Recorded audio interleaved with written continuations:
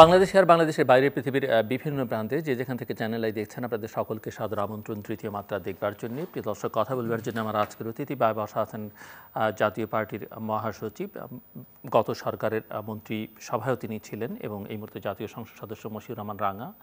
আমার ডানে রয়েছেন বাংলাদেশ জাতীয়তাবাদী দল, বিএনপি দলীয় সাবেক সংসদ সদস্য জহিরুদ্দিন স্বপন। স্বাগত আপনাদের দুজনই, দুজনকে স্টুডিওতে, আপনারা বা দুজনই ঠিক আপনাদেরকে আমি প্রবীণ নেতাও বলব না, নবীন নেতাও বলব না মানে তরুণও বলব না, ঠিক মাঝামাঝি একটা সময় অবস্থান করছেন। কিন্তু একটা প্রশ্ন আমি আপনাদের দুজনের কাছে করতে চাই, আলোচনাটা শুরু করতে চাই এই জায়গা থেকে যে বাংলাদেশে রাজনীতি আছে, বাংলাদেশের মানুষ খুব রাজনীতি সচেতন, রাজনীতি প্রবণ, এটি আমরা সবসময় বলে থাকি। কিন্তু বাংলাদেশে আটচল্লিশ বছরও একটি কার্যকর রাজনৈতিক ব্যবস্থা কেন গড়ে উঠল না? এখানে প্রতিষ্ঠানগুলো সেই অর্থে রাজনীতির ভিত হিসেবে গণতন্ত্রের ভিত হিসেবে কাজ করে সেগুলো শক্তিশালী হচ্ছে না। রাজনৈতিক দলগুলোকে শক্তিশালী করা যাচ্ছে না। আমি যদি আহ, মশিউর রহমান রাঙা আপনার দলের কথাই বলি যে জাতীয় পার্টি যেটিকে একটি তৃতীয় বৃহত্তম রাজনৈতিক দল হিসেবে মানুষে বিবেচনা করে বা করবার সুযোগ ছিল বা আরও শক্তিশালী হিসেবে দেখবার সুযোগ ছিল সেটিও সেই জায়গাটা জাতীয় পার্টি ধরে রাখতে পারছে না। এখানে আমরা বহু বামপন্থী রাজনৈতিক দল দেখেছি যাদের ইতিহাস আমাদের স্বাধীনতার পূর্ব থেকেই উজ্জ্বল ইতিহাস ছিল। সেই বামপন্থী সংগঠনগুলো কোনো কার্যকর ভূমিকা রাখতে পারছে না। ধীরে ধীরে সেগুলো শক্তি ক্ষয় আমরা দেখতে পাচ্ছি। এখানে ধর্মভিত্তিক কিছু রাজনৈতিক দলকে অনেক শক্তিশালী মনে করা হতো। আমরা দেখতে পাচ্ছি গত কয়েক বছরে ধীরে ধীরে সেই দলগুলোর অবস্থা ক্ষয়িষ্ণু ইভেন প্রধান দুটো রাজনৈতিক দল যদি আমরা বাংলাদেশ আওয়ামী লীগ এবং বাংলাদেশ জাতীয়তাবাদী দল বিএনপিকে বিবেচনা নিই এবং স্বাভাবিকভাবে নিতেও হবে সেটি। এই দুটো দল হিসেবে যে খুব বেশি শক্তিশালী বিএনপি তো বলাই হয় কথায় কথায় সবাই বলে, আমরাও আলোচনার মধ্যে বলি যে বিএনপি ঠিক আগের তার শক্তিটা ধরে রাখতে পারছে না, একটু ক্ষয়িষ্ণু একটু বিপর্যস্ত রাজনৈতিক দল, আওয়ামী লীগ টানা দশ বছরের বেশি সময় ধরে ক্ষমতায় আছে ক্ষমতায় থাকলে ধরে নেওয়া হয় যে দল সরকার এখানে বড় শক্তিশালী প্র- প্রশাসন যন্ত্র অনেক শক্তিশালী হচ্ছে কিন্তু দল হিসেবে আওয়ামী লীগ কতটা শক্তি সঞ্চয় করতে পারছে সেটি নিয়ে অনেকের মধ্যে নানা রকমের প্রশ্ন সংশয় রয়েছে আওয়ামী লীগের ভেতরেও আছে। তো সব মিলিয়ে যে একটা কার্যকর রাজনৈতিক ব্যবস্থা স্থায়ী একটা ব্যবস্থা যেটি দীর্ঘমেয়াদে বাংলাদেশের জন্য সুফল কল্যাণ বয়ে আনতে পারে সেরকম ব্যবস্থা আমরা কেন করতে পারছি না? আপনারা কি মনে করেন? মশিউর রহমান রাঙা শুরু করবেন। হ্যাঁ, ধন্যবাদ আপনাকে ধন্যবাদ চ্যানেল আইয়ের অগণিত দর্শক। সারা পৃথিবীব্যাপী এখন চ্যানেল আইয়ের অগণিত দর্শক। একসময় আমরা জিলুর ভাইয়ের মনে আছে নিশ্চয়ই শবন ভাইয়েরও মনে আছে। আমি তখন দু হাজার এক সালে আমরা যখন সংসদ সদস্য ছিলাম আমরা অনেক রাত ধরেই কিন্তু আমরা এগুলো করতাম। এবং সেগুলো মনে হয় সেই সময় কি আমরা কি মানে অন এয়ারই ছিল প্রোগ্রামগুলো না কে- তখনও রেকর্ড করা তৃতীয়? মাত্রা যখন যেরকম প্রয়োজন সেরকম ভাবে চলেছে। তো কাজেই তাই চলবে। এই কারণে অনেক দীর্ঘদিন যাবত আমরাও যেমন মানুষের কাছে পৃথিবীর বাইরে আমরা পরিচিত অনেক পরিচিত। সেই সময় আমরা বাদ- বিদেশে গেলে আমাদের মানুষকে মোবাইল হাতে এনে দিত যে ভাবির কাছের সঙ্গে কথা বলেন? আপনার তো এখানে টেলিফোন নাই। আমাদের আমার টেলিফোন থেকে কথা বলেন। আমি বলব মানুষকে যে আপনি আমার টেলিফোনে কথা বলছেন। তো এই যে একটা ভালোবাসা সেই কারণে চ্যানেল আই আমার একটা প্রিয় মিডিয়া। এবং তার সঙ্গে আমি আজকে যারা আমার সঙ্গে কথা বলবেন জহিরুদ্দিন স্বপন, উনি আমার অনেক প্রিয় মানুষ। আমরা একসঙ্গেই দু হাজার এক সালে সংসদে অনেকবার ছিলাম একসঙ্গে ছিলাম এবং আমরা অনেক টক সঙ্গীতে আমরা করেছি একসঙ্গে। তো সুতরাং সেই দিনগুলো মনে পড়ে গেল আজকে। এই জন্য জিলুর ভাইকে ধন্যবাদ যে আমাদেরকে একত্রে বসার সুযোগ করে দিয়েছেন। রাজনীতির বিষয়টা হচ্ছে বাংলা তৃতীয় বিশ্বের দেশগুলোর যে রাজনীতি ইউরোপিয়ান কান্ট্রিগুলোর রাজনীতি বা আপনার যেগুলো চায়না বা রাশিয়া, তাদের যে বামপন্থী যে রাজনীতি, এটার রাজনীতি কিন্তু বিভিন্ন এলাকা বেজ একটু ভিন্নতা আছে। পাকিস্তানের রাজনীতিটা কিন্তু একরকম, ভারতের রাজনীতিটা কিন্তু একরকম, ব্রিটেনের রাজনীতিটা কিন্তু একরকম। মানে প্রত্যেকটা মানে দেশগুলো, বড় বড় দেশগুলো যারা, প্রত্যেকটা দেশেই কিন্তু রাজনীতির ভিন্নতা আছে।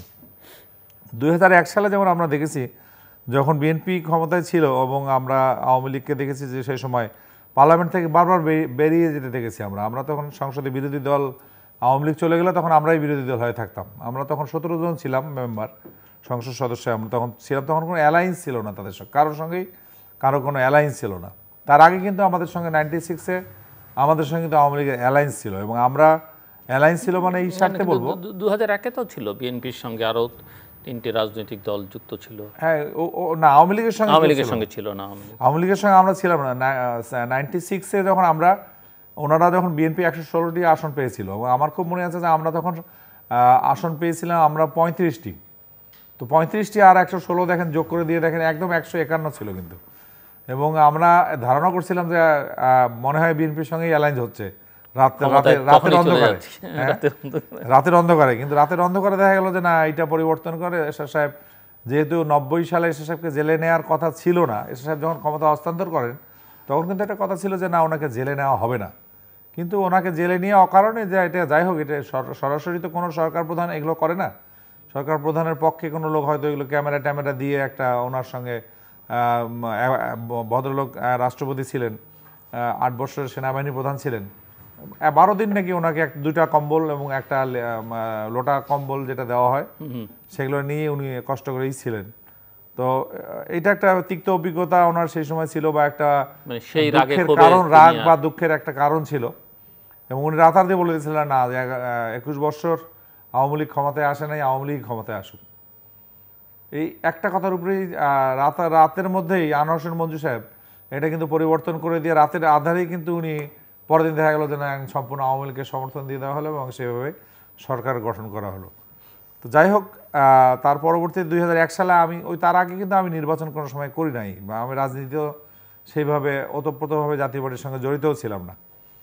তো দুই হাজার এক সালে যখন আমি রাজনীতিতে আসলাম, আমাকে নির্বাচন করতে বলা হলো, তখন আমি নির্বাচন করে আসলাম। তো তখন আর আমাদের কারোর সঙ্গে অ্যালায়েন্স ছিল না। তখন আওয়ামী লীগ যখন বাইরে যেত তখন কিন্তু বিএনপির সঙ্গে আমাদের বেশ ডিবেট হতো রাজনীতিতে মানে পার্লামেন্টের ভিতরে। মানে আওয়ামী লীগের ভূমিকাটা আমরা তখন পালন করতাম। তো ঠিক এইভাবে টকশোগুলো সেই সময় আল্লাহ সাহেবের সঙ্গে আরও অনেকেই আমরা বিদেশ গেলেও একসঙ্গে হয়তো সব দল মিলিয়ে তখন যাওয়া হতো। সবাই একসঙ্গে যেতাম কোনো আমাদের মধ্যে। বাইরের রিলেশনটা কিন্তু ভালো ছিল। কিন্তু আমাদের বাংলাদেশে আপনি যদি বলছেন যে বর্তমান যে রাজনৈতিক অবস্থাটা এটা একটা মানে কেন যেন আমি বুঝি না এই রাজনীতি এই সময়টা আসলে বিএনপিও ধরে রাখতে পারল না। আমরা, জাতীয় পার্টি, আমরা যেভাবে আমাদের ধরে রাখা উচিত ছিল, আমরাও সেভাবে ধরে রাখতে পারি নাই, সত্যি কথা কিন্তু। এবং মানুষও কেন যেন একটা রাজনীতি বিমুখ একটা অবস্থা। অর্থাৎ কোনো বাসায় আপনি যাবেন, গিয়ে দেখবেন যে সেখানে ছোট ছোট বাচ্চারা যারা হয়তো সেভেনে ফাইভ সিক্স সেভেনে পড়ে, হয়তো আপনার আপন ভাতিজা কিংবা আপন ভাগনা বা আপন এই ধরনের আত্মীয় স্বজন, তারা গিয়ে দেখবেন যে ও মোবাইলে টেলিফোনে কিন্তু মোবাইলে খেলছে, ও কিন্তু কারোর সঙ্গে কথা বলে না। ও মামা আসছেন মামা আসসালাম আলাইকুম। এই কয় হয়তো ও চলে গেল। বলে চলে গেল ওর নিজের ঘরে চলে গেল। ও নিজের ঘরে সম্পূর্ণ কিন্তু করছে। আমরাও তো এক সময় এরকম পরিবারই ছিলাম। সাত ছজন পাঁচজন সাতজন ভাই বোন ছিলাম। আপ টু এগারো জন নজন পর্যন্ত ভাই বোন অনেক পরিবারই ছিল। ছিল। তো এক বিছানার মধ্যে হয়তো সাত ভাই চার ভাই তিন ভাই থাকতাম। একটা ল্যাট্রিন ইউজ করতাম একটা বাথরুম ইউজ করতাম। কিন্তু এখন কিন্তু এটা আর সম্ভব নয়। এখন কিন্তু প্রত্যেকটা পরিবারে দেখবেন প্রত্যেক বাচ্চার জন্য আলাদা ঘর আলাদা রুম আলাদা মানে তাদের সব কিছুই সেপারেট ইভেন ইভেন তাদের থালা গ্লাস পর্যন্ত আলাদা।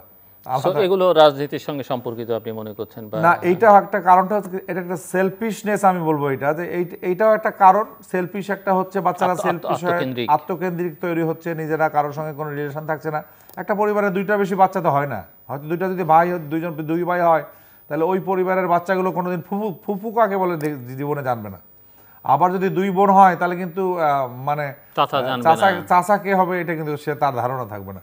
তো এরকমই একটা অবস্থার কারণে এটি একটি আর নতুন ছেলেরা যারা আসছে এখন আমাদের তো শেষ সময়ের দিকে আমি মনে করি যে আমাদের শেষ সময়ের দিকে। বার্ধক্য না হলেও আমরা ধরেন যে উনষাট ষাট বছর আমাদের বয়স তো। সুতরাং বার্ধক্যের কাছাকাছি আমরা আমরাও চেষ্টা করছি যাতে রাজনীতিটাকে আবার দেশে ঠিক যে আগের যে রাজনীতি আসলে সেরকম আন্দোলনও নেই দেশে। আন্দোলন হয় না এই কারণে যে এক নির্বাচন নিয়ে যে আন্দোলনটা হয় যে নির্বাচন সঠিক হয়নি নির্বাচন এই হয়েছে এটা অ্যাকচুয়ালি প্রমাণ করাটা খুব ডিফিকাল্ট হয়ে যায়। আর অন্যান্য তখন যেমন রাজনীতি ছিল কি নিয়ে তেলের দাম বাড়লো ভাসানী সাহেব আন্দোলনে ডাক দিল পাবলিক রাস্তায় নেমে গেল বঙ্গবন্ধু রাস্তায় ডাক- একটা ডাক দিল সেই রাস্তায় অবস্থা নাই। সেই অবস্থানে একক নেতৃত্বটা মনে হয় কোনো দলেই খুব বেশি যে একক একটা নেতৃত্ব বা এককভাবে যে একটা নিজের অবস্থানটাকে প্রতি- সুপ্রতিষ্ঠিত করা এটা কিন্তু অনেকেই করতে পারে না সেই কারণে আমার কাছে আরও অনেক কারণে আছে। আমি আমার মনে হয় এখানে আপনাকে একটু থামিয়ে দিই। আমি মিস্টার জহিরুদ্দিন স্বপনের কাছ থেকে শুনে আসি তাহলে আলোচনাটা করতে আরও আপনারও সুবিধা হবে। আমার মনে হয় না প্রশ্ন করবার কোনো। দরকার আছে। আমি প্রথমেই বাংলা নববর্ষের শুভেচ্ছা জানাই জিল্লুর আপনাকে। আপনার মাধ্যমে চ্যানেল আই পরিবারকে। সরি এটা আমি জানাইনি আমি আমিও শুভেচ্ছাটা জানাই। আমাদের দুজনের পক্ষ থেকে আমি আমাদের দুজনের পক্ষ থেকে। আমাদের দুজনের পক্ষ থেকে আমার খুব ঘনিষ্ঠ বন্ধু আমাদের জাতীয় পার্টির মহাসচিব জনাব মশিউর রহমান রাঙা এবং আমার পক্ষ থেকে আপনাকে চ্যানেলের পরিবারকে এবং তৃতীয় মাত্রার মতো এরকম একটা জনপ্রিয় অনুষ্ঠানের দেশব্যাপী এবং বিশ্বব্যাপী যে শ্রোতৃমণ্ডলী আছেন তাদের সবাইকে আমি নববর্ষের শুভেচ্ছা জানাই। এবং আমি খুব গর্বিত ধন্য যে আপনার সঙ্গে আমার দীর্ঘদিনের সম্পর্ক। বিশেষ করে টকশোর এই কালচারটা বাংলাদেশে শুরু করার ক্ষেত্রে আপনি একজন অগ্রপথিক। এক নম্বর বলা যায় হ্যাঁ। এবং আমি আপনাকে এই সুযোগে সম্মানিত দর্শক শ্রোতাকে সাক্ষী রেখেই অভিনন্দন জানাতে চাই যে বাংলাদেশে রাজনীতির সংস্কৃতির যে দৈন্য দশা চলছে তার মধ্যে তৃতীয় মাত্রা একটা একটা অবলম্বন হিসাবে টিকে আছে রাজনীতির এই সংস্কৃতিকে ধরে রাখার জন্য। এবং এর কৃতিত্ব সিংহভাগ আপনার।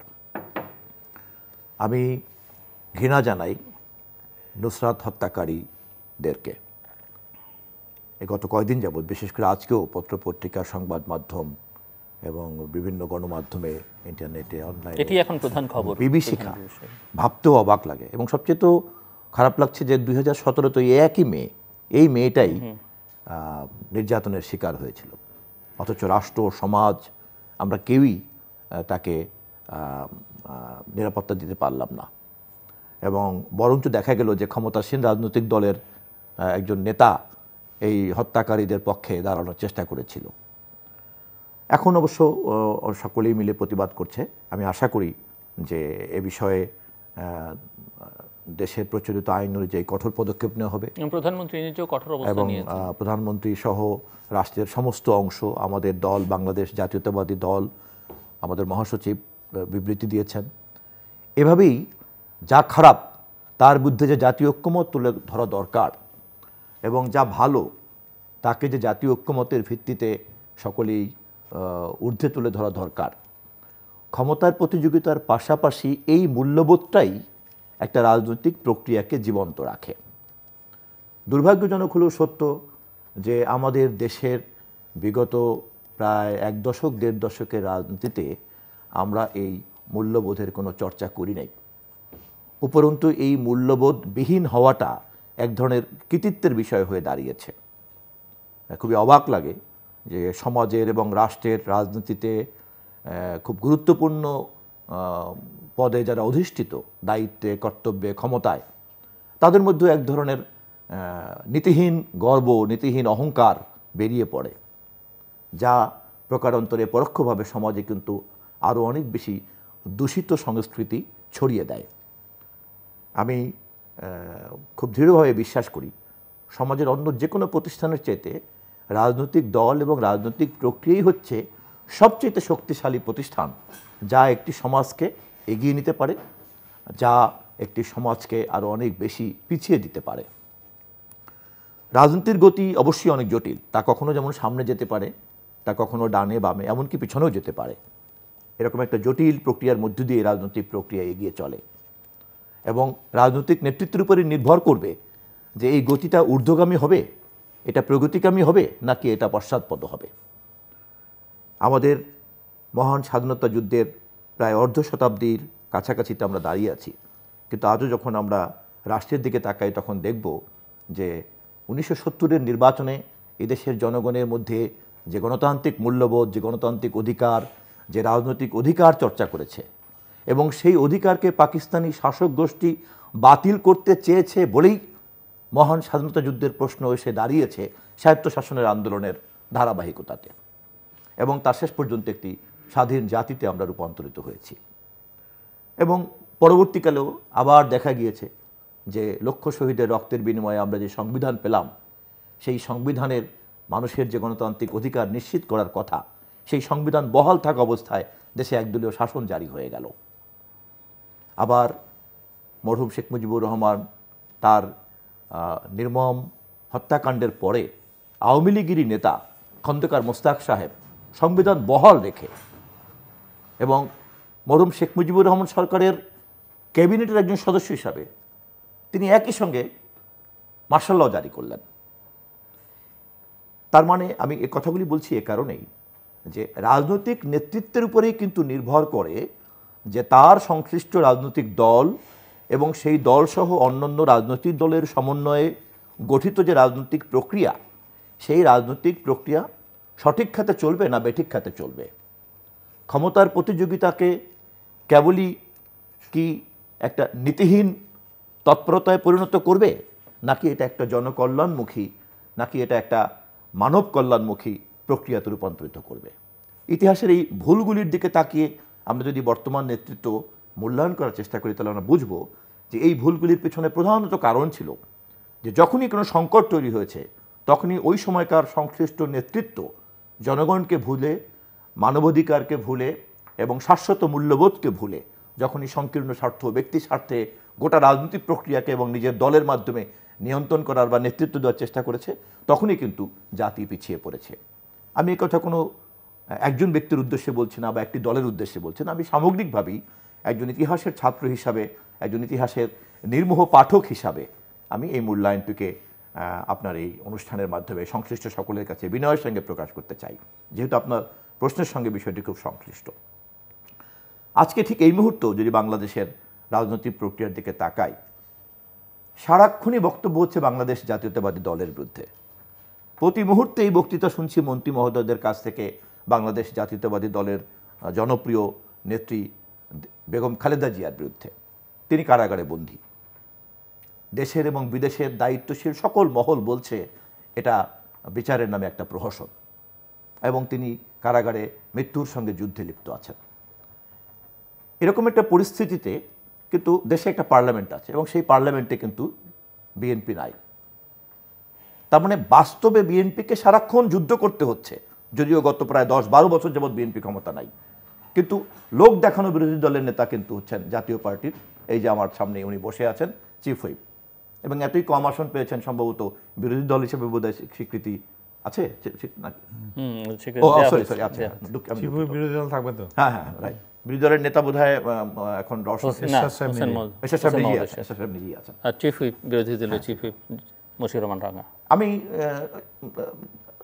মানে সংসদের কাঠামো অনুযায়ী তো এরশাদ সাহেব হচ্ছেন বিরোধী দলের নেতা উনি হচ্ছেন চিফ হুইপ বর্তমান সংসদে। অথচ সারাক্ষণ দেখবেন বক্তৃতা হচ্ছে কিন্তু তার মানে কি? দেশে এমন একটা সংসদীয় ব্যবস্থা এই মুহূর্তে বিরাজ করছে যেই সংসদীয় ব্যবস্থাটা কেবলমাত্রই একটা ভোটারবিহীন সরকারের বৈধতার জন্যই দরকার। আর বাস্তবে তাকে বক্তৃতা করতে হচ্ছে, যুদ্ধ করতে হচ্ছে, সমালোচনা করতে হচ্ছে, অত্যাচার করতে হচ্ছে, নির্যাতন করতে হচ্ছে এবং গোটা রাষ্ট্রকে ব্যবহার করতে হচ্ছে কিন্তু বিএনপির বিরুদ্ধে। এই যে বাস্তবতার সঙ্গে তৈরি করা আর একটা কৃত্রিম বাস্তবতার এই যে পার্থক্য, এখানেই কিন্তু মূল্যবোধের একটা ঘাটতি। এবং অবশ্যই এই মূল্যবোধের ঘাটতি কেবলমাত্রই যে বর্তমান সরকার সৃষ্ট অথবা বর্তমান ক্ষমতাসীন দলের সৃষ্ট, তা আমি বলছি না। কিন্তু আমি কথা বলতে চাচ্ছি যে যদি এখান থেকে বের হতে চাই আমরা, তাহলে সংকটের এই দ্বিচারিতা, রাজনৈতিক নেতৃত্বের এই নীতিহীন কৌশলী আচরণ, এটা যে সাধারণ মানুষকে রাজনীতি বিমুখ করে ফেলছে রাজনীতিবিহীন করে ফেলছে এবং তার পরিণতি যে আরও খারাপ, এটা আমি যতক্ষণ উপলব্ধি না করব, ততক্ষণ ধীরে ধীরে ধীরে ধীরে কিন্তু দেখা যাবে যে গোটা রাজনৈতিক প্রক্রিয়া একটা গণবিচ্ছিন্ন প্রক্রিয়ায় রূপান্তরিত হচ্ছে। আজকেই বোধ হয় কোনো একটা জাতীয় দৈনিক পত্রিকা প্রথম আলোতেই পড়ছিলাম নারায়ণগঞ্জে এসপি বনাম এমপির বিরোধের কাহিনী। মজার ব্যাপার। এবং এটা কিসের প্রতিফলন? আমরা যা আলোচনা করছি এটারই কিন্তু প্রতিফলন। দেশে রাজনৈতিক প্রক্রিয়া না থাকলে পরে একটা শহরে বিশেষ করে ওখানে শামীম ওসমান সাহেব এমপি, আমাদের ছাত্র জীবনেরই খুব ঘনিষ্ঠ সহকর্মী। ওখানে এসপি বনাম তার মতো একজন প্রভাবশালী এমপির মুখোমুখি বিরোধটা গোটা সমাজকে, গোটা স্থানীয় মানুষকে প্রভাবিত করছে। এবং বোঝাই যাচ্ছে যে চলমান রাজনৈতিক প্রক্রিয়া এতই অসুস্থ যে সেখানে এসপি, কনস্টেবল, ওসি, তাদেরই কিন্তু দাপট। এমনকি মানুষ তো দূরে থাকুক, ক্ষমতাসীন দলের নেতাকর্মীরাও কিন্তু সেখানে একটা গৌণ জায়গায় চলে গিয়েছে। এভাবেই কিন্তু রাষ্ট্রের বিভিন্ন অঙ্গ প্রত্যঙ্গ, যার একটা নিরপেক্ষ চরিত্র থাকা দরকার, যার একটা প্রাতিষ্ঠানিক চরিত্র থাকা দরকার, সেগুলি কিন্তু হারাতে হারাতে হারাতে হারাতে এখানে এসে পৌঁছেছে। এবং এভাবেই যদি রাজনৈতিক নেতৃত্বই যদি বুঝে, না বুঝে অথবা অবচেতনভাবে রাষ্ট্রকেই যদি প্রতি মুহূর্তে আমরা দুর্বল করতে থাকি, তাহলে কোনোভাবেই গণতান্ত্রিক ব্যবস্থা, সাংবিধানিক ব্যবস্থা টিকতে পারে না। মানব সভ্যতার অনেক অভিজ্ঞতার মধ্য দিয়ে কিন্তু সেপারেশন অফ পাওয়ারের এই স্ট্রাকচারটা রাষ্ট্রবিজ্ঞানে তৈরি হয়েছে। আইন বিভাগ, বিচার বিভাগ, শাসন বিভাগের এই যে ক্ষমতার ভাগাভাগি এবং চেকস অ্যান্ড ব্যালেন্সেসের এই সিস্টেম পলিটিক্যাল সায়েন্সের রাষ্ট্রবিজ্ঞানে তৈরি হচ্ছে কিন্তু এ কারণেই। অথচ খুব দুর্ভাগ্যজনক হলেও সত্য, বাংলাদেশ সহ আমাদের মতো এরকম উদীয়মান দেশগুলিতে রাজনৈতিক দলের নেতৃত্বে এই প্রাতিষ্ঠানিক ধারাবাহিকতাকে আরও শক্তিশালী করার কথা, রাষ্ট্রকে আরও শক্তিশালী করার কথা, কারণ রাষ্ট্র যত শক্তিশালী হবে, রাষ্ট্র যত নিরপেক্ষ হবে, তত বেশি গণতন্ত্র চর্চা করার জন্য আমরা একটা শক্তিশালী কাঠামো পাবো। আর রাষ্ট্র যত বেশি দুর্বল হবে, তত বেশি দেখা যাবে যে গণতন্ত্রের জন্য যে সুস্থ প্রতিযোগিতা, যে প্রতিযোগিতার মধ্য দিয়ে জনকল্যাণের কাজটা বিভিন্ন রাজনৈতিক দল মিলে আমরা করব, আমরা সেই প্রতিযোগিতাটা তখন আর করতে পারব না। কারণ তখন গোটা রাষ্ট্রটাই কোনো না কোনো একটা পক্ষ ব্যবহার করবে। সেই কারণে আমি আমার বক্তব্যের এই পর্যায়ে আমি একজন রাজনৈতিক কর্মী হিসাবে এবং রাজনীতি এবং ইতিহাসের একজন পাঠক হিসাবে প্রথমেই আত্মসমালোচনা করতে চাই, গোটা রাজনৈতিক প্রক্রিয়ার একজন প্রতিনিধি হিসাবে। আজকের ক্ষমতাসীন দল আজকের বিরোধী দল পার্লামেন্টে পার্লামেন্টের বাইরে জননন্দিত দল বেগম খালেদা জিয়ার দল বিএনপি সকলের পক্ষ থেকে আমি আত্মসমালোচনা করতে চাই। এই রাজনৈতিক প্রক্রিয়ার আত্মবিধ্বংসী প্রক্রিয়া থেকে আমাদেরকে বের হয়ে আসতেই হবে। কারণ রাজনীতি ছাড়া গণতন্ত্র ছাড়া সংবিধান ছাড়া এবং জনগণের অংশগ্রহণ ছাড়া এইবার। এবং একটি কার্যকরী নির্বাচনী প্রক্রিয়া বহাল রাখা ছাড়া একটা রাষ্ট্র এগিয়ে যেতে পারে না। আমার সুবিধা অনুযায়ী আমি বলব গণতন্ত্র দরকার। আমার সুবিধা অনুযায়ী সত্তরের নির্বাচনকে আমি গ্লোরিফাই করব। আবার আমার সুবিধা অনুযায়ী আমি বলব, গণতন্ত্র পরে হবে আগে উন্নয়ন দরকার। যেভাবে আয়ুব খান বলেছিলেন উনিশশো আটান্ন বা আটষট্টিতে, মানুষ যখন একজন রাজনৈতিক একটা দল, একটা নেতা অথবা নেত্রী কারও মুখে এ ধরনের দ্বিচারিতা দেখে, তখন রাজনীতির প্রতি মানুষ কিন্তু অনীহা তৈরি হয়ে যায়। এবং সাধারণ মানুষের এই পরিমাণ অনীহা একটা পর্যায়ে এমনভাবে একটা জায়গায় গিয়ে দাঁড়াতে পারে, যখন সেই রাজনীতি বিমুখ জনগোষ্ঠীকে অনাকাঙ্ক্ষিত শক্তিই তো ব্যবহার করবে। ধন্যবাদ। জি। বিরোধী দলের চিফ হুইপ। মানে অনেক অনেক কথাই এবং না, ওই মানে এই কথার মধ্যে এই প্রশ্ন তোলা যায় যে বিরোধী দল আসলে কে? না লাস্টের একটা মানে কথা ভালো লেগেছে যে আমাদের এখন নিজের আত্মসমালোচনা করা দরকার। এই জায়গাটা থেকে আসি শ্রবণ ভাইয়ের। বিষয়টা হচ্ছে তাই আসলে। উনিশশো দুই হাজার চোদ্দ সালের যে নির্বাচনটা হলো নির্বাচনটা ওনারা নির্বাচনটা আসলেন না। আসলেন না আসার কারণে আমরা কিন্তু অর্ধেকটা জাতীয় পার্টি আমরা আসলাম অর্ধেকটা আমরা আসলাম না। পরে কিন্তু ওই অর্ধেকটাও যখন দেখা গেল যে একটা সরকার গঠন করা হয়ে গেছে বিরোধী দল আমরা হয়ে গেছি তখন কিন্তু আবার সবাই আবার ফিরে আসছে। তো সেই কারণেই যে আসলে তখনও কিন্তু এই আন্দোলন যে করা হয়নি তা কিন্তু নয়। তখনও কিন্তু আমার আমি পরিবহন মালিক সমিতিরও কিন্তু সভাপতি আপনি জানেন পরিবহন মালিক সমিতি সারা বাংলাদেশের আমি সভাপতি। তখন আমাদের একশো তেত্রিশটা গাড়ি কিন্তু আগুন লাগানো হয়েছে। এটা আমি জানি না আপনারা লাগাইছেন না আওয়ামী লীগ লাগাইছেন না কারা এটা লাগিয়েছে আই ডোন্ট নো আমি কারও দোষ দিতে চাই না আমাদের ভাগ্যের দোষ দিতে চাই। তো এইটার পরে কি হলো? পেট্রোল বোমা গাড়িতে নিক্ষেপ করা হলো। পেট্রোল বোমা নিক্ষেপ করে তখন আমাদের সরকার থেকে বলা হলো যে যারা বিশেষজ্ঞ ছিল অগ্নি নির্বাপক বিশেষজ্ঞ তারা বলল যে আপনারা যে পর্দাগুলো আছে এই গাড়ির পর্দাগুলোর শীতকাল তো জানুয়ারি মাস যা পাঁচই জানুয়ারিতে শীতকাল। তো ওই পর্দাগুলো মোটা পর্দা দিয়ে দেন আপনারা, তাহলে পেট্রোল বোমাটা ভিতরে যাবে না। যদি নিক্ষেপও করে, ভিতরে যাবে না। তো যাই হোক নির্বাচনের পরে আমরা যখন, আমি তখন মন্ত্রী হয়ে প্রতিমন্ত্রীর দায়িত্ব আমরা পেলাম। বিরোধী দলও থাকলাম, আবার প্রতিমন্ত্রীর দায়িত্ব আমার কাছে থাকল। সেই সূত্রে আমি বাংলাদেশের সভাপতিও ছিলাম পরিবহনের। আমরা কিন্তু হেলিকপ্টার দিয়ে, তখন তো রাস্তা দিয়ে যাওয়ার কোনো উপায় ছিল না। প্রতিদিন আমাদের দশটা, বারোটা করে গাড়ি পোড়ানো হচ্ছিল। বিভিন্ন জায়গার থেকে গাড়ি আসতে লাগলেই আগুন পেট্রোল বোমা নিক্ষেপ করা হচ্ছিল। তো তারপরে আমরা হেলিকপ্টারে এই জেলাগুলোতে আমরা আমরা তখন কিন্তু আমরা হেলিকপ্টার করে প্রত্যেকদিন আমি শাহজাহান খান, তারপরে আমাদের খন্দকার এনায়তুল্লাহ, আপনি একটু আগে ওনার নাম বলেছেন। আমরা সবাই মিলে কিন্তু হেলিকপ্টারে আমরা সব জেলাগুলো কিন্তু ট্যুর করে করে গাড়ি গাড়ি আমরা ঢাকায় নিয়ে আসছি। আমরা যদি আর পনেরো বিশ দিন গাড়ি না ঢোকাতে পারতাম ঢাকায়, তাহলে কিন্তু ঢাকায় খাওয়ার অভাব হয়ে যেত। মানে খাওয়ার থাকতো না, ট্রাক আসতে পারতো না খাওয়ার অভাব হতো। আমরা দেখলাম যে প্রত্যেকটা রাস্তায় গাছগুলোকে কাট, কেটে দেওয়া হয়েছে আপনার মেশিন দিয়ে। একটা মেশিন আছে গাছ কাটা মেশিন, আগের মতো সে কুড়াল দিয়ে আর এখন গাছ কাটে না। মেশিনটা দিয়ে অন্য ফিফটিন মিনিটসে গাছটাকে রাস্তার মধ্যে ফেলে দিচ্ছে। এই এই গাছটাকে পুলিশ যখন সরাতে যাচ্ছে, তখন কিন্তু সরাতে পারতেছে না। তিন ঘণ্টা, চার ঘণ্টা, পাঁচ ঘণ্টা লাগছে। তো এতে পনেরো, বিশ দিন, এক মাস এই রাস্তা ক্লিয়ার করা কোনোভাবেই সম্ভব ছিল না। তখন আমরা কিন্তু ওই হেলিকপ্টার থেকে মাইক দিয়ে বলে দিয়েছিলাম যে, যাদের বাড়ির সামনে গাছ, এগুলো গভর্নমেন্ট থেকে আপনাদের দিয়ে দেওয়া হয়েছে, আপনারা এগুলো নিয়ে যান। তো আমরা টেকনা, আমরা ঢা- ঢাকা থেকে চট্টগ্রাম চট্টগ্রাম থেকে টেকনাপের থেকে ফিরে আসার সময় আমরা দেখি যে অর্ধেক গাছে মানে ক্লিয়ার হয়ে গেছে। মানে মানুষই নিয়ে, ছোটো ছোটো বাচ্চাদের আছে, সেও গাছের ডাল নিয়ে এক জায়গায় জড়ো করছে যে না, এটা আমার ভাগ। তো এই যে তখন মানুষও আমাদের প্রায় একশো তিরিশ জনের মতো মানুষ কিন্তু তখন আমরা, আমাদের ড্রাইভার তারপরে ওই যে আপনার পেট্রোল বোমার যে সে আগুনগুলো যেখানে যেখানে পেট্রোল যেদিক দিয়ে গেছে ওইখানে আগুন সঙ্গে করে নিয়ে গেছে। গিয়ে ওই মানুষটার পশমি জামা কাপড় ছিল শীতকালে কিংবা উলেন একটা চাদর গায়ে দেওয়া ছিল যার কারণে আগুন ধপ করে আগুন জ্বলে যেত। লোকটা দাঁড়া চিৎকার দিত তখন এই এই এই জায়গাটুকু পুড়ে যেত গলার। এই এইটুকু পুড়ে গেলে আর তাকে রক্ষা করার বাংলাদেশের বা না ওয়ার্ল্ডে কোনো ট্রিটমেন্ট নাই যে এই জায়গাটা।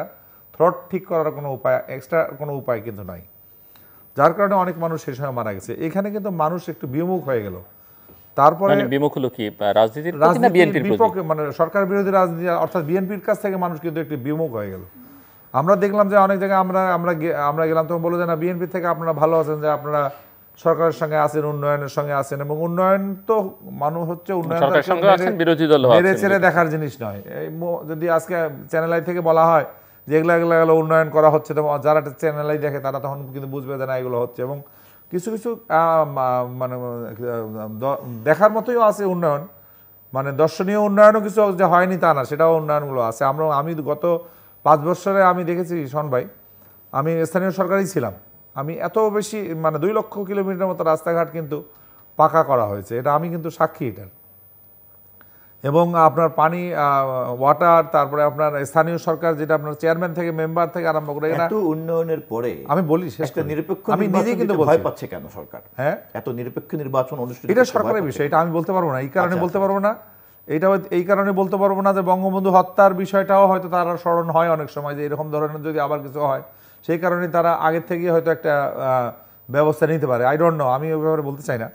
তো এটা আপনি বলবেন এটা আপনার বলার কথা আমার বলার কথা নয়। বাট আপনি কি ওনার কথা অ্যাডমিট করছেন কিনা যে নির্বাচন নিরপেক্ষ হয় নাই? নি- নিরপেক্ষ হয় নাই এটা আমি সব জায়গার কথা বলতে পারব না। কিন্তু আমার দেখার কথা আমি বলতে পারব যে আমার ওখানে ওনার বিএনপির একজন ক্যান্ডিডেট ছিল সে আপনার তিনবার ইউনিয়ন কাউন্সিলের সে মেম্বার হতে পারে নাই। মানে হয় দাঁড়িয়ে ভোটে জিততে পারে আপনার আমার রংপুর এক যেটা আমার আসনটা এটাতে কোনো সমস্যা ছিল না উনি জানেন। এটাতে মান্না সাহেবের মান্না মান্না সাহেবের একজন লোককে দেওয়া হয়েছিল। মাহমুদুর রহমান মান্না সাহেব। তো সেইখানেও ভোট পেয়েছে মাত্র চোদ্দ হাজার। আর আমি পেয়েছিলাম দুই লক্ষ ভোটের মতো। আমার আগের থেকে এক এক সাল থেকে আমি পার্লামেন্টে ছিলাম সেই কারণে আমার যত একটা ধারণা ছিল মানে যে ভোট না, যতই পান মানে ইলেকশন ফ্রি ফেয়ার হয়েছে কোনো সমস্যা ছিল সব যে আমার ওখানে হয়েছে এটা আমি বলতে পারব। কিন্তু অন্য জায়গাটা আমি দেখি নাই না না আপনি একটা বড় বড় দলের মহাসচিব একটি বড় দলের না, আমি মহাসচিব কিন্তু খুব অরিড ছিলাম আমার নির্বাচনটা নিয়ে কারণ ওইখানে আর অন্য কিছু নিয়ে মাথা না, আমি ওইটা আর স্যারেরটা কেন স্যার ছিল না এসএস সাহেব ছিলেন তখন সিঙ্গাপুরে। এসএস সাহেব কিন্তু একদিনের জন্য রংপুরে যান যেতে পারেন নাই উনি তখন সিঙ্গাপুরে ওনারা একদিকে জমেটা, মানুষের টানাটানি হচ্ছে, এই এসএস মারা যাচ্ছে, এই মারা যাচ্ছে, এই খবর আসলো, মারা গেল। মানে এগুলা নিয়ে খুব একটা নানাবিধ একটা সমস্যার মধ্যে আমি তখন ছিলাম। এবং তখন তিন দিনে আমার মহাসচিবের বয়স তখন মাত্র তিন দিন। আমি তিন দিনে মানে ইলেকশনের তিন দিন আগে কিন্তু মহাসচিব হয়েছি। তো যাই হোক আর কি, পরে এসে সাহেবও জিতেছেন কাদের সাহেবও জিতেছেন যারা যারা আমরা নির্বাচন করেছি, সবাই আমরা জিতেছি। তো আমাদের ছাব্বিশটা আমরা তো অ্যালায়েন্স ছিল আওয়ামী লীগের সঙ্গে। আওয়ামী লীগের যে একটা তাদের যে ভোটটা সেটাও আমরা পেয়েছি সেই হিসেবে আমরা চলে আসছি এবং আমরা একসঙ্গে নির্বাচন করার কথা ছিল কিন্তু যদি আপনারা আসন সংখ্যা বেশি পেতেন তাহলে বিরোধী দলটা হয়তো আপনারাই হতেন আমি হয়তো আজকে এই জায়গায় মহাসচিবের জায়গায় হয়তো মানে বিরোধী দলের নেতার জায়গায় হয়তো বিরোধী দলের চিফ হুইপের জায়গায় হুইপের জায়গায় আমি থাকতাম না। তো যাই হোক এখন কথা হচ্ছে যে আমরাই রাজনীতিটাকে আমরাই নষ্ট করেছি। আপনি আজকে দেখেন আপনার দলের ভিতরেও যারা মনোনয়ন সেই সময় দিয়েছে আপনি বুকে হাত দিয়ে বলতে পারবেন না যে সব মনোনয়ন সঠিক হয়েছে। আবার সব মনোনয়ন যে বিনা পয়সায় দেওয়া হয়েছে তাও নয় ওখানেও কিন্তু কিছু পয়সা নেওয়া হয়েছে। আমাদের দল থেকেও কিন্তু কিছু পয়সা নেওয়া হয়েছে এবং প্রকাশ্যেই দেখলাম আমাদেরটা তো আপনারা জানেন আবার আমাদের আওয়ামী লীগ থেকেও কিন্তু পয়সা নেওয়া হয়েছে। কেউ আর কেউ কিন্তু কম যায় না কোনো এই এই মনোনয়নের বিষয়টা। আর বাকি রাজনীতিটার বিষয়টা হলো যে এই চোদ্দ সাল এবং এই এই এখন যে আসছে যেটা এইটাতে উন্নয়নমূলক কর্মকাণ্ডগুলোর জন্য মানুষ কিছু বলছে না। আর যারা এখনকার যারা ভোটার, সতেরো বছর, আঠারো বছর যারা, যাদের ভোটার যারা হয়েছে, তারা কিন্তু বঙ্গবঙ্গকে দেখে নাই, তারা এরশাদের কর্মকাণ্ডও দেখে নাই, তারা জিয়াউর রহমানের কর্মকাণ্ডও কিন্তু দেখার তাদের সুযোগ হয়নি। তাদের বয়স কিন্তু অত তখন ছিল না, তারা শুনেছে এবং তারা জানে যে স্বাধীনতার সময় বঙ্গবন্ধু স্বাধীনতার পক্ষের বঙ্গবন্ধু বক্তৃতা করেছেন, বঙ্গবন্ধু আন্দোলন করেছেন, বঙ্গবন্ধু চোদ্দ বছর জেলে গিয়েছিলেন, এগুলো কিন্তু এখনকার সন্তানেরা এগুলাই জানে। তারা এরশাদ কি করেছেন এটাও যেমন জানে না জিয়া রহমান কি করেছে এটাও কিন্তু তারা সেইভাবে জানে না। এটাও একটা কারণ তাদের একটা বড় অ্যাডভান্টেজ অ্যাডভান্টেজ এটা যে এটা যে তারা তারা চায় যে না আমরা মুক্তিযোদ্ধা যুদ্ধ করে আমরা বাংলাদেশ আমরা ভাষা আন্দোলন করে আমরা জয়লাভ করেছি। আপনি দেখবেন যে কোনো পৃথিবীর কোনো দেশেই ভাষা নিয়ে আন্দোলনে এত ইয়া হয় না। রক্তক্ষণ তো ওটা না রক্ত যেটা সেটা না। মানে বাচ্চারা মানে ওই ভাষা আন্দোলনটাকে এখনও পুঁজি করে ইয়া করে দেয় না আমরা আন্দোলনের একটা জাতি আমরা আমাদের ভাষা কেড়ে নিয়েছি আমরা আমাদের উর্দু থেকে আমরা বাংলা কেড়ে নিয়েছে স্বাধীনতা যুদ্ধ আমরা করে আমরা জয় হক জয়লাভ করে আমরা আসছি। কিন্তু যুদ্ধ কীভাবে কি হয়েছে না হয়েছে এটা আপনি জানেন আমি ওই বয়সের যারা আমরা আমরা জানি যে যুদ্ধের সময় কীভাবে কি কীভাবে মানে আমরা জিতেছি। তো এখনকার বাচ্চারা জানে যে না এইটা মানে আমাদের মুক্তিযোদ্ধারাই শুধু একমাত্র আর কেউ ছিল না এখানে যুদ্ধ করার জন্য। আমাদের তো তখন থ্রি নাট থ্রি রাইফেল ছাড়া আমাদের আমাদের মুক্তিযোদ্ধার কাছে খুব বেশি বড় ধরনের কোনো আর্মস তাদের প্রশিক্ষণের মধ্যে তাদের ছিল না। আমাদের সেনাবাহিনী আমাদের পুলিশ তা ওনাদের কিছু প্রশিক্ষণ ছিল যার কারণে সম্ভব হয়েছে এবং সর্বোপরি যে ভারতীয় একটা সমর্থনে আমাদের এটা আমাদের পক্ষে সমর্থন ইয়েটা হয়েছে। তো সেই সেই সেই মুক্তিযুদ্ধের ইতিহাসগুলো এই ইতিহাসগুলো কিন্তু তারা ইতিহাসেই জানে বাস্তবতাটা আমরা জানি। তো সেই কারণেই এই বিভিন্ন কারণে না রাজনীতির প্রতি একটা মানুষের বাচ্চা কাচ্চারা এখন যেমন চাকরি পাচ্ছে টেলিভিশনে চাকরি পাচ্ছে অনেক ব্যাংক অনেক হয়ে গেছে চাকরি পাচ্ছে বিভিন্ন জায়গাতে কিন্তু প্রোভাইড আমি দেখছি তো আমার এখানে চাকরি দেওয়ার পরে দেখা গেছে যে আমরা লোকই পাচ্ছি না যে না ওই স্ট্যান্ডার্ডের আমরা লোকই পাই না। তাই নাকি? হ্যাঁ আমি আমার আমার ওখানে আমার সম্পূর্ণ একটা ভিন্ন ধরনের তথ্য স্থানীয় সরকারে তাই হয়েছে। পরিসংখ্যান ব্যুরো কিন্তু অন্য কথা বলছে। না তা জানি না কিন্তু আমি বাস্তব বলে যোগ্য লোক কথা পাচ্ছেন বলার না কোনো বেকার কারণ নাই। আছে কিন্তু জোনার হ্যাঁ, যোগ্য হয়তো- লোক পাচ্ছেন না। হয়তো তারা জানে না মানে skill skill matter। Skill matter এখানে স্কিলের বিষয় আছে। আমাদের ইঞ্জিনিয়ার লাগে ইঞ্জিনিয়ার তো আপনার সাধারণ লোক হতে পারে না। স্থানীয় সরকার ম্যাক্সিমাম আমাদের ইঞ্জিনিয়ার লাগে। আমরা সেই রকম ইঞ্জিনিয়ার ঠিক মতো মানে যে তারা যে মানে পার্লামেন্টও লিখতে পারে না এমন কত মানুষ আছে যে মানে পার্লামেন্টে এইবার আমি- যখন এইবার মহিলা মনোনয়ন দিই আমরা কিন্তু এবার ভাই বানিয়েছিলাম আমি। আটজনের একটা কমিটি করে ভাই বানিয়ে এসএস সাহেব সরাসরি দেয়নি আমাদের দায়িত্ব দিয়েছিল আমরা করেছি। আমি অনেককেই বলছি যে পার্লামেন্ট বানান যাবেন পার্লামেন্ট বানানটা লেখেন তো। তো একটু তো আপনিও জানেন আমিও জানি যে একটু পার্লিয়ামেন্ট এই এই রকম শব্দ দিয়ে না লিখলে পার্লামেন্ট যেমন লেখা যায় না লেফটেন্যান্টেও ঠিক ওই রকম একটা না জানলে কিন্তু লেখা যায় না। তা আমি দেখছি যে আমাদের আটান্ন জনের মধ্যে অনেকেই এটা কিন্তু লিখতে পারে নাই। আমার কাছে খুব দুর্ভাগ্য মনে হয়েছে এবং তারা ইংলিশেও অনেকে মাস্টার্স কিন্তু তারাও ওই ভুলটা কিন্তু করেছে। তো সুতরাং আমার এখন যেটা মনে হয় যে আমাদের সেই সময় আমরা অনেক ইঞ্জিনিয়ার আমরা চেষ্টা করেছি আমরা কিন্তু পাইনি। পরবর্তীতে আমরা অবশ্য পরে আবার হয়তো হয়তো তারা নোটিশটা দেখতে পারেনি এটা হতে পারে। পরে আমরা পেয়েছি। সুতরাং এই নানাবিধ কারণে আমার কাছে মনে হয় যে রাজনীতিটা যেভাবে একটা আন্দোলনমুখী রাজনীতি হওয়া উচিত ছিল সেরকম না রাজনীতি মানেই তো আবার আন্দোলন না খালি আন্দোলন করলেই রাজনীতি আছে তা তো না আমরা যেমন আমরা আমরা যেটা করি আমরা পার্লামেন্টেও কিন্তু ছেড়ে কথা বলি তা না আপনি দর্শনের সাথে বক্তব্য যদি পার্লামেন্টে শুনে থাকেন সেটা আমি না হয় নাই বলি, না, বলবেন, এত কিছু বলা এত কিছু বলার পরেও মাননীয় প্রধানমন্ত্রী কিন্তু ওগুলো উত্তর দিয়েছে কোনো সময় কিন্তু উনি উত্তরের বাইরে যেসব আপনাদের সময় যেসব কথাবার্তা হয়তো এরকম কথাবার্তা কিন্তু উনি উনি সবাইকে কম বেশি দায়ী করল বিএনপির নিজস্ব দুর্বলতার কথা তিনি নিজস্ব দুর্বলতার কথা বলছেন। সরকারেও যেমন ছিলেন এক সালে আবার আপনারা ইয়াতে আসে নয়ে আসে আট নয় কিছু কিছু ক্রিয়াকর্মের কথা বলছেন কিছু বলছেন যে এখনকার যে ভোটারদের যে নতুন জেনারেশন প্রথম ভোটার বা তরুণ ভোটাররা তারা আসলে অতীতের ইতিহাস অনেকটাই জানে না। যেটা জানে সেটা হচ্ছে মুক্তিযুদ্ধের ইতিহাস বঙ্গবন্ধুর ইতিহাস আওয়ামী লীগের ইতিহাস। এবং হ্যাঁ, শুধু আওয়ামী লীগে করেছে। এবং এই বিতর্কের মধ্যে মুক্তিযুদ্ধের পক্ষ বিপক্ষ শক্তি এই এটিও আছে এবং সেই সেখানটা তো বিএনপি পিছিয়ে পড়া মানে অনেকেই বিএনপিকে মুক্তিযুদ্ধের বিপক্ষের শক্তির সঙ্গেই ব্র্যাকেট বন্দি করে। তো সব মিলিয়ে আসলে উনি মনে করেন যে বিএনপি ভোটের বিবেচনাতেই অনেকখানি দূরে সরে আছে। আমার এখানে বক্তব্যটা হচ্ছে যে এই মনে করা করিটা বাদই দিলাম। না, এবার যেমন আর একটা ভুল হয়েছে, আমি একটু একটু অ্যাড করি প্লিজ আপনি যদি সময় দেন আমাকে।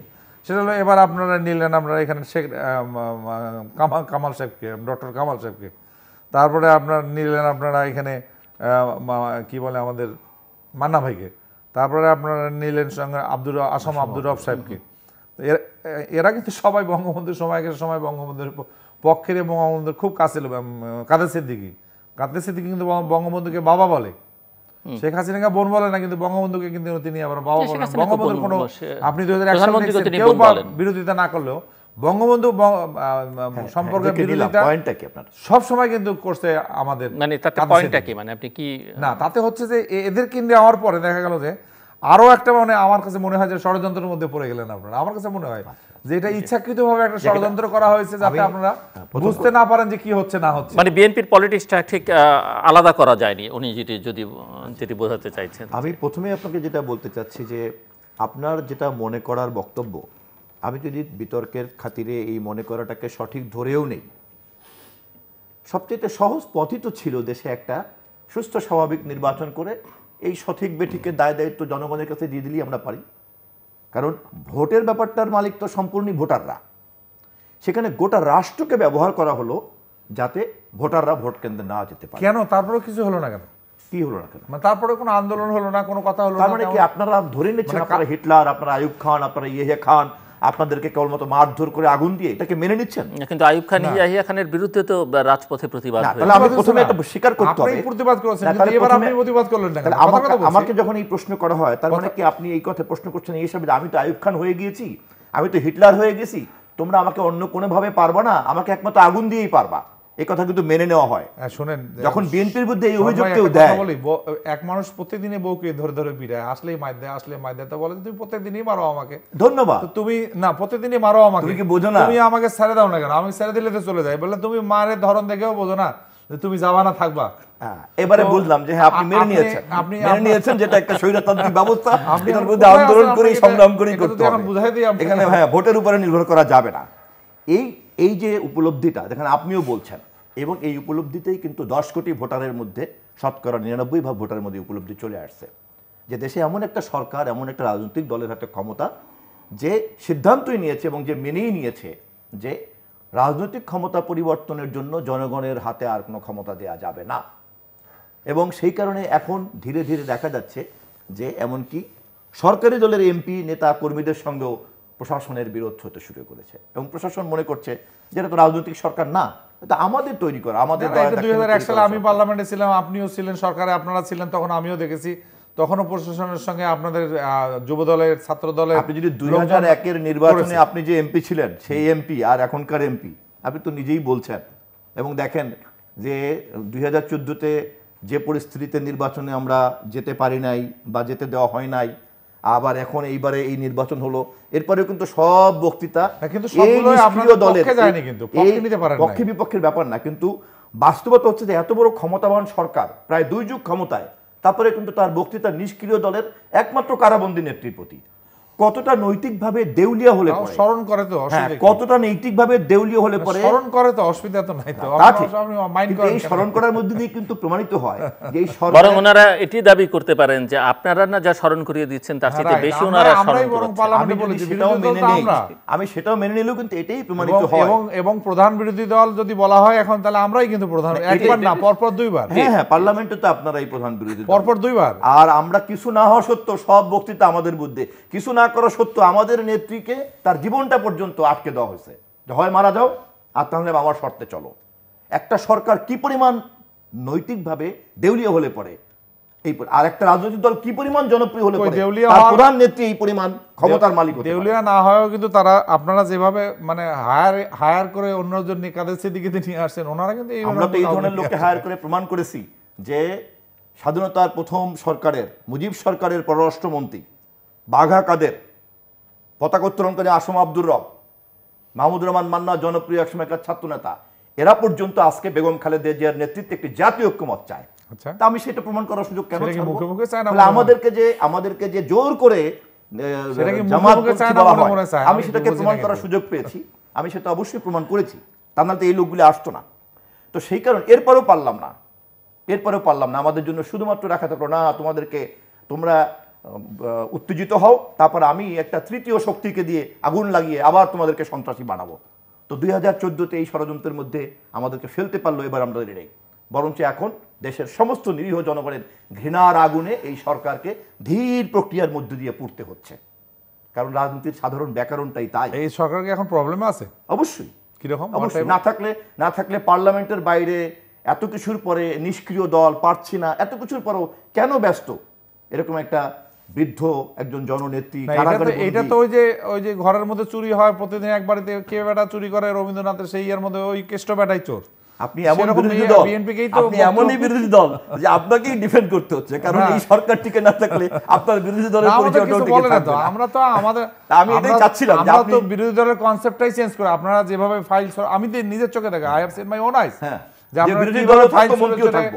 হ্যাঁ, ছুঁড়ে concept ছুঁড়ে তো না, না, ছুঁড়ে আপনি- সেই আপনারা সময়- ফাইল ছুড়ে দিয়েছেন ওনারা ফাইল ছুটছেন না সেটা আমরা আওয়ামী লীগকেও ছুটতে দেখছি এটা বলছি তো দুই হাজার সালে তো আপনারা ক্ষমতায় এই সে সময় আওয়ামী বিরোধী লীগও দল থেকে ছুটেছে। মন্ত্রী হয়েছিলেন।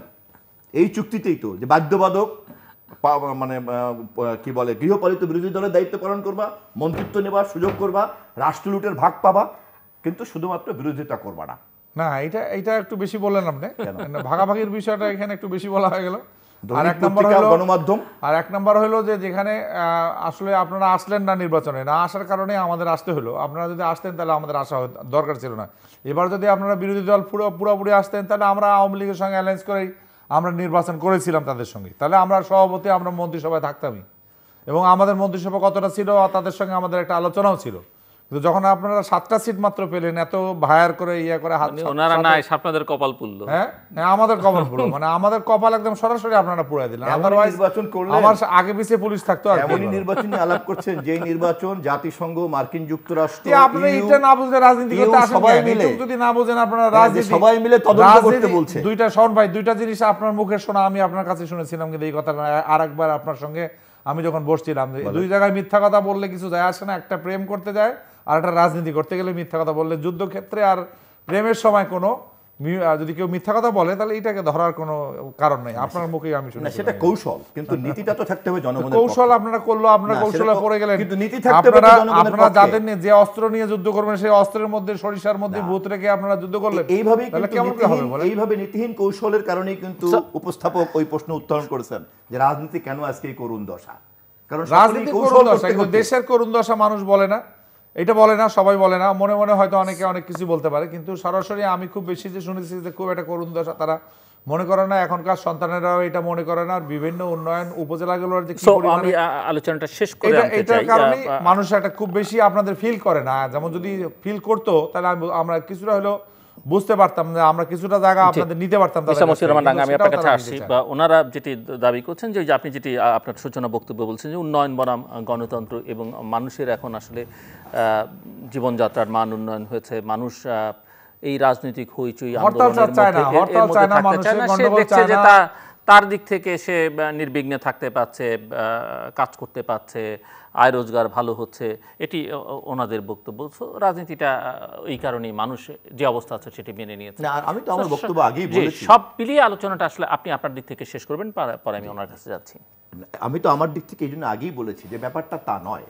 বরঞ্চ ক্ষমতার প্রতিযোগিতাতে ধীরে ধীরে ধীরে ধীরে গোটা রাষ্ট্রটাই এখন একটা আপনার হাতিয়ারে পরিণত হয়েছে ক্ষমতাসীন দলের, গোটা রাষ্ট্র। এমনকি রাষ্ট্রের সবচেয়ে নাজুক যে সমস্ত বাহিনী, সেই সমস্ত বাহিনীগুলিকেও আজকে দলীয় কাজে ব্যবহার করা হচ্ছে। এবং তার প্রমাণ প্রতিনিয়ত, প্রতি মুহূর্তে কিন্তু বেরিয়ে পড়ছে। দেশের প্রশাসন বলেন, আইন বিভাগ বলেন, বিচার বিভাগ বলেন, বিভিন্ন বাহিনী বলেন, কারও প্রতি কারও কোনো আস্থা নাই। এমনকি গণমাধ্যমের সম্পাদকদের নিজস্ব আলোচনা যখন আসে, তাদের প্রায় অনেকের মুখ থেকেই আমরা শুনি যেটা সেলফ সেন্সরশিপ চলছে। দেশের বাইরে যখনই কথা বলতে হয়, যখনই কথা বলতে আমরা গিয়েছি, সব জায়গাতে একই রকম কথা। এবং এটা একটা পারভার্টেড পলিটিক্যাল সিস্টেম হিসেবে ডেভেলপ করেছে, একটা বিকৃত রাজনৈতিক ব্যবস্থা। যে রাজনৈতিক এই- জনগণ এই- ব্যবস্থার জন্য আপনি নিজে আত্মসমালোচনার কথা বলছিলেন খুব যথার্থই আপনি বলছিলেন। কিন্তু সেখানে আপনাদের নিজেদের দায় কতখানি বলে মনে করেন আপনারা? একটা মানে বড় দল হিসেবে অনেক সময় আমাদের প্রতিপক্ষকে ক্ষমতায় রেখে যতটুকু দায়িত্ব নেওয়া দরকার তার বাদের দায়িত্বটুকু আমাদের অবশ্যই। যে যে অংশটুকু ক্ষমতাসীন দলকে গ্রহণ করতে হয় বারো বছর ক্ষমতাসীন দলকে গ্রহণ করতে হবে। সেই অংশটুকু নেওয়ার পরে বাকিটা তো অবশ্যই বিরোধী দল হিসেবে আমাদের বৃহৎ দল হিসেবে আমাদের। বা অতীতে ক্ষমতায় বা থাকাকালীন। অতীতে ক্ষমতায় থাকুন অবশ্যই আমাদের। কিন্তু এই উপলব্ধি, এই যে জাতীয় ঐক্যমত হ্যাঁ আসেন আপনারও ভুল, আমারও ভুল, এবং ক্ষমতাসীন দল হিসাবে এই উপলব্ধির জায়গাটা দিয়ে একটা জাতীয় ঐক্যমতের উদ্যোগ গ্রহণ করা, সে ব্যাপারে যে ব্যর্থতা, আমি মনে করি রাজনীতির সংকটটা হচ্ছে সেইখানে। বরঞ্চ এই এইভাবে দেশের সমস্ত গণতান্ত্রিক সম্ভাবনাগুলিকে কুক্ষিগত করে করে করে করে করে গোটা রাষ্ট্রটাকে একেবারে নিজের ভ্যানিটি ব্যাগের মধ্যে আটকে ফেলার অথবা নিজের পকেটে আটকে ফেলার এই যে ক্ষমতা, এই যে সার্থকতা, এর মধ্যে যে কৃতিত্ব, এটাকে মানুষ কিন্তু এক ধরনের বিকৃত মানসিকতা বলে মনে করে। এটাকে মানুষ কিন্তু এক ধরনের ক্ষমতার অতিরিক্ত চর্চা বলে মনে করে। এবং এই মনে করাটা রাগ কিন্তু শুধুমাত্রই বর্তমান ক্ষমতাসীন দলের অপরাধের কারণে তার বিরুদ্ধেই যাবে না। এটা কিন্তু গোটা রাজনৈতিক প্রক্রিয়ার বিরুদ্ধে যাবে। সে কারণে আমি আপনার আলোচনার সূত্রপাতকে আমি আবারও নীতিগত এবং আরেকটা প্রশ্ন আমি একটু করতে চাই যেটি মশিউর রহমান রাঙা আপনাকে আলোচনার সময় বলছিলেন যে পঁচাত্তরটা আওয়ামী লীগের মাথার মধ্যে আসে। এবং সে কারণে তারা সবসময় শঙ্কিত থাকে নিজেদেরকে একটা নির্বিঘ্নে একটা ভয়াবহ অবস্থার সৃষ্টি এমন একটা নিরাপদ নিরাপদ জায়গায় রাখতে চায় এবং এর সঙ্গে যোগ করে বা আওয়ামী লীগ সবসময় যোগ করতে চায় বা যারা রাজনৈতিক বিশ্লেষকদের অনেকে যোগ করতে চান।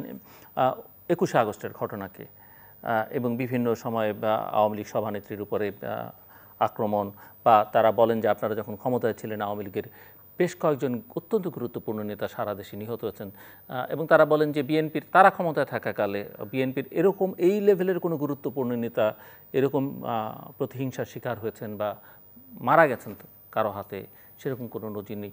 সো এগুলো তারা মনে করেন যে এগুলো আসলে তারা কোনোভাবেই ভরসা করতে পারে না বিএনপিকে ক্ষমতায় দিয়েও ভরসা করতে পারে না বা একেবারে কাছাকাছি বিরোধী শক্তি হিসেবেও বিএনপি শক্তিশালী থাকুক সেই ভরসাটা না ঠিক আছে আমার এই প্রশ্ন তো এটা এটা খুবই স্বাভাবিক যে এই ধরনের ঘৃণ্যতম হত্যাকাণ্ডগুলিকে পক্ষপাতিত্ব করে যারা জেলখানার ভিতরে হত্যা এটা কোনো দেশে হয় নাকি। ভাই এবং এর এটা মেনে বিরুদ্ধে- নেওয়ার জিনিস। এর বিরুদ্ধে জনমত তৈরি করা জাতীয় দায়িত্ব পালন করা ঐক্যমত তৈরি করা আমি আগেই বলেছি যে এই ধরনের প্রত্যেকটা ঘটনার প্রশ্নে জাতীয় ঐক্যমত তৈরি করতে হবে এবং সেই উদ্যোগ রাজনৈতিক দলগুলির মধ্যে অবশ্যই থাকতে হবে। ক্ষমতার প্রতিযোগিতার সঙ্গে এই ধরনের জাতীয় ঐক্যমতের কোনো বিরোধ নাই এবং সেটা আমরা করতে ব্যর্থ হয়েছি সমস্ত রাজনৈতিক দল মিলে। কিন্তু প্রশ্ন হচ্ছে যে, এই বিষয়গুলিতে যতক্ষণ পর্যন্ত একটা নিরপেক্ষ প্রক্রিয়ার মধ্য দিয়ে কোনো অপরাধীকে শনাক্ত করা না যাচ্ছে, ততক্ষণ পর্যন্ত কোনো মহল যেন কার্যকরী রাজনৈতিক দলগুলির মধ্যে ঐক্যমতের বাধা সৃষ্টি করতে না পারে, সে বিষয়ে আমাদেরকে কিন্তু সজাগ থাকতে হবে। আপনি খেয়াল করেন খন্দকার মোস্তাক আহমেদের নেতৃত্বেই আপনার বঙ্গবন্ধু হত্যাকাণ্ড ঘটল। এবং তার বেনিফিশিয়ারি কিন্তু প্রথমেই খন্দকার মোস্তাক আহমেদ। এই পুরো সময়টা সে বহন করল। কিন্তু আজ কিন্তু দেখা যায় যে বক্তৃতার শুরুতেই আওয়ামী লীগের সেই অংশ এমনকি মন্ত্রী পরিষদে মাত্র তিনজন কি চারজন বাদে, চার নেতা জেলখানায় মারা গেলেন, তারা বাদে, বাকি সেই মন্ত্রী পরিষদে কিন্তু খন্দকার মোস্তাকের মন্ত্রী পরিষদে গেল। এমনকি তখনকার বঙ্গভবনে, তখনকার পার্লামেন্টের এমপিরা পর্যন্ত বৈঠক করল। তখন তো বিএনপির জন্মলগ্নের প্রশ্নই ওঠে নাই।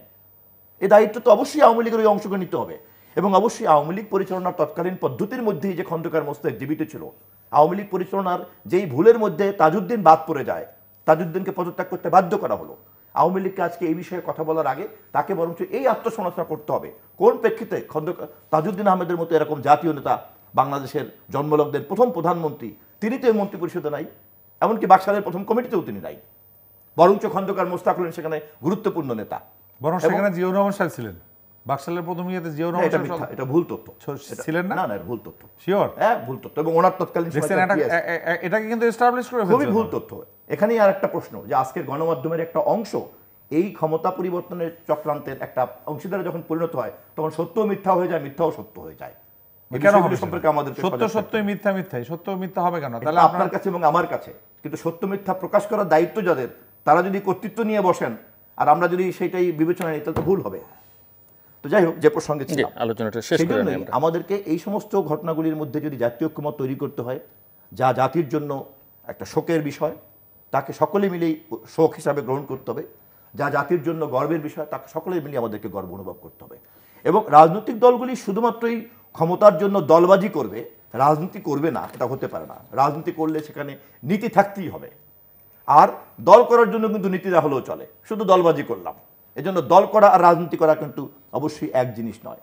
কিন্তু দুর্ভাগ্যজনক হলেও সত্য, আজকে ক্ষমতাকে আঁকড়ে থাকার জন্য দল করা, দলের সুবিধার জন্য বিভিন্ন অংশে অংশে বিভিন্ন সেগমেন্টে সেগমেন্টে নিজের বেনিফিশিয়ারি পার্টনার তৈরি করা, সেটা কি চেম্বার অফ কমার্স কি বিজিএমের ইলেকশন কি আপনার প্রশাসনের মধ্যে প্রমোশন দেওয়ার অধিকার, এভাবেই প্রত্যেকটি প্রতিষ্ঠানের স্বাভাবিক প্রাতিষ্ঠানিক চরিত্র ধ্বংস হয়ে গিয়েছে। এবং এই জাতিকে আবার সামনে দাঁড়াতে হলে পরে ক্ষমতাসীন দল বলেন বাইরে যারা দলে আমরা আছি সকলে মিলে যদি এই যাত্রাবিন্দুর একটা নতুন জাতীয় ঐক্যমত তৈরি করে না যায় সমঝোতার ভিত্তিতে তাহলে আমাদের জন্য অনেক খারাপ ভবিষ্যৎ অপেক্ষা করছে অথবা ইতিহাস আমাদের সকলকে বাদ দিয়েই নতুন যাত্রাবিন্দু তৈরি করবে। ধন্যবাদ। আসলে উনিশশো পঁচাত্তরের যে বঙ্গবন্ধু হত্যাকাণ্ড এই হত্যাকাণ্ড যদি ওনারা আগের থেকে স্বীকার করতো দুই সাল থেকে যদি এটা মানত ওরা ওনারা দুই হাজার এক সালে এটা নিয়ে পার্লামেন্টে অনেক কথা হয়েছে এবং অনেক অশ্রাব্য কথাবার্তা বলা হয়েছে। যে না এটা মোস্তাক করছে এটা আমরা করে নিই আওয়ামী লীগ বলছে জিয়াউর রহমান করছেন এটা করছেন এটা একটা কারণ। জেল হত্যাটাও জেল হত্যায় যে চারজন সব থেকে সিকিউর প্লেস কিন্তু পৃথিবীর মধ্যে সব থেকে সিকিউর হলো জেল জেলখানা। সেখানে গিয়েও কিন্তু তাজউদ্দিনের কথা উনি বলল কিন্তু সেই তাজউদ্দিন আহমদকেও হত্যা করা হয়েছে। সেখানেই করা হয়েছে। তখন খন্দকার মোস্তাকই ক্ষমতায়। তখন বঙ্গভবনে খন্দকার মোস্তাক বসা আওয়ামী লীগের নেতা।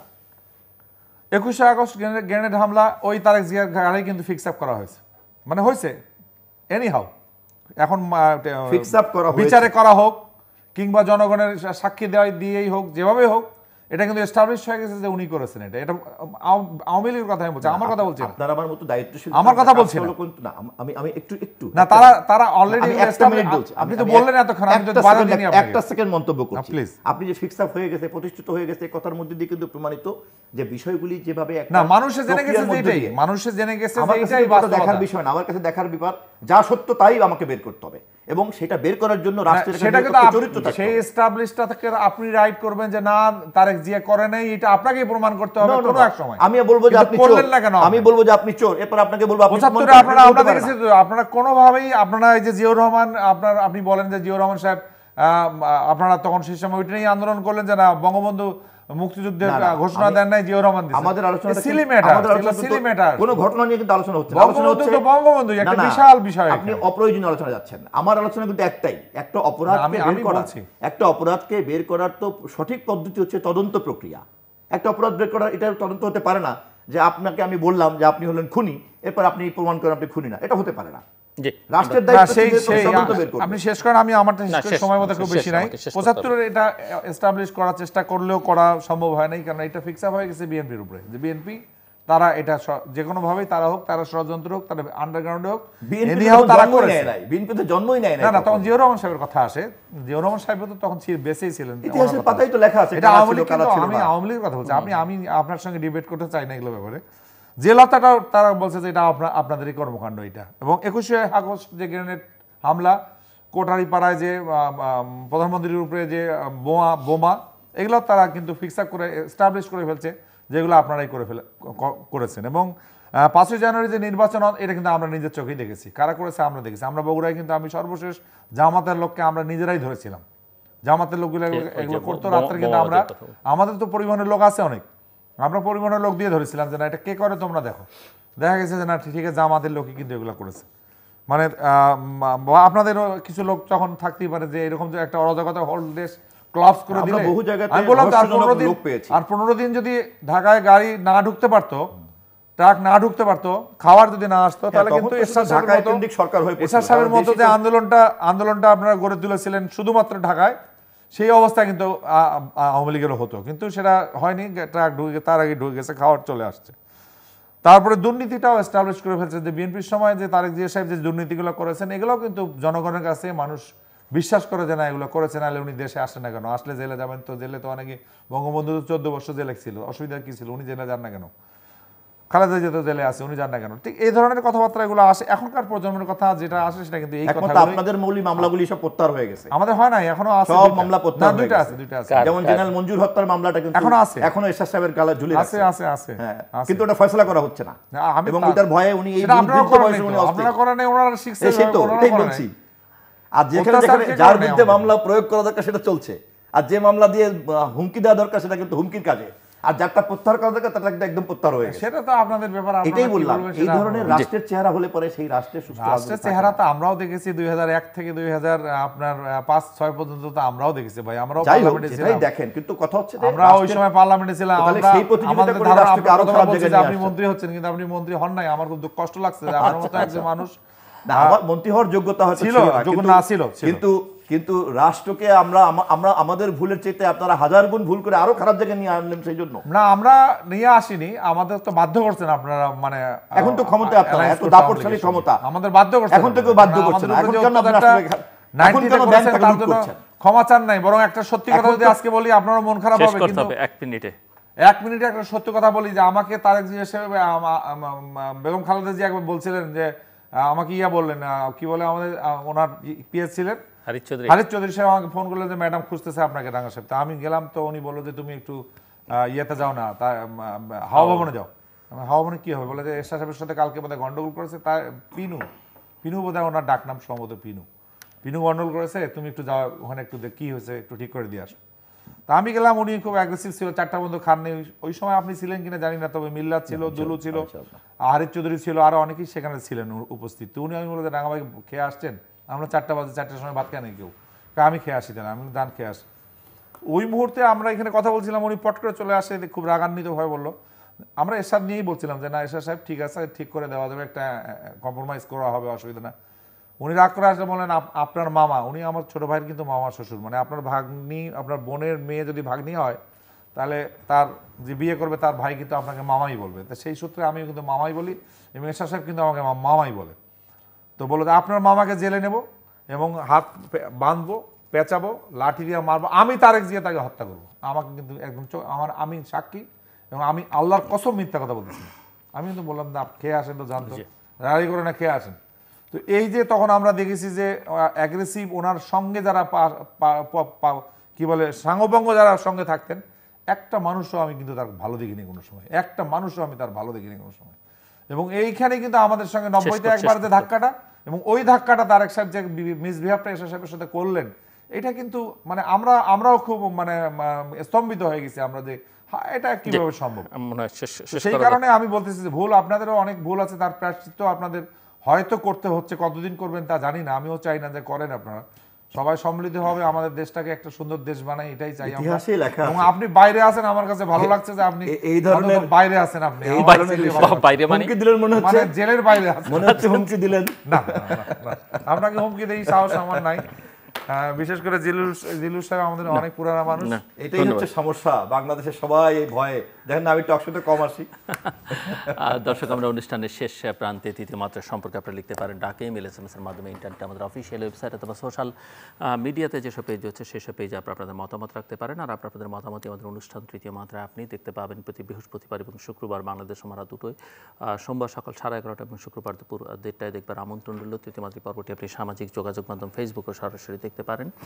ফেসবুক এখন তৃতীয় মাত্রা লাইভ স্ট্রিমিং হচ্ছে। আর এই পর্ব সহ পুরনো পর্বগুলো দেখবার জন্য তৃতীয় মাত্রার সঙ্গে যুক্ত থাকবার জন্য অনুষ্ঠানটি সম্পর্কে জানবার জন্য যে কোনো সময় ভিজিট করতে পারেন তৃতীয় মাত্রা dot com Facebook Google plus Twitter এবং ইউটিউবে তৃতীয় মাত্রা যে পেজগুলো রয়েছে সেই সব পেজগুলোতে আইএস ডিভাইস থাকলে আপনি অ্যাপ স্টোর থেকে তৃতীয় মাত্রা অ্যাপটি ডাউনলোড করে নিতে পারেন তৃতীয় মাত্রা দেখবার জন্য এবং অনুষ্ঠান সম্পর্কিত তথ্যাদি জানবার জন্য মিস্টার জহিরুদ্দিন স্বপন এবং মিস্টার মশিউর রহমান রাঙা অসংখ্য ধন্যবাদ আপনাদের এই দুইজনকে আলোচনা অংশ নেবার জন্য। দর্শক, কথা হচ্ছিল যে বাংলাদেশের রাজনীতি আছে, কিন্তু এই রাজনীতিটা মানুষ পছন্দ করছে কিনা, সেটি একটি প্রধান বিবেচ্য বিষয়। রাজনৈতিক ব্যবস্থাটা আমরা শক্তিশালী করতে পারিনি, আমার দু অতিথি স্বীকার করে নিয়েছেন এবং তার কারণ রাজনীতিতে অনেক অন্ধকার দিক আছে, সব দেশে সব রাজনীতি থাকে। কিন্তু এত অন্ধকার দিক না থাকুক সেটি আমাদের চাওয়া এবং অন্ধকারকে আলোয় নিয়ে আসা রাজনীতিবিদদেরই প্রধান দায়িত্ব কারণ তাদের উপরেই মানুষ ভরসা করে, তাদের পেছনেই মানুষ থাকে। যে কারণে গণতন্ত্রের ভিত হিসেবে কাজ করে যে প্রতিষ্ঠানগুলো, সেই প্রতিষ্ঠানগুলোকে শক্তিশালী করা যায়নি। এমনকি আমাদের দেশের রাজনৈতিক দলগুলোকেও সেই অর্থে শক্তিশালী করা যাচ্ছে না। প্রতিষ্ঠান হিসেবে, দল হিসেবে দলগুলো খুব একটা শক্তিশালী হচ্ছে না বলে রাজ, রাষ্ট্রবিজ্ঞানী বা রাজনৈতিক বিশ্লেষকদের অনেকেই মনে করেন। ভালো এবং খারাপ যা কিছু আছে, সেগুলো নিয়ে একটা জাতীয় ঐকমত্য হওয়া দরকার।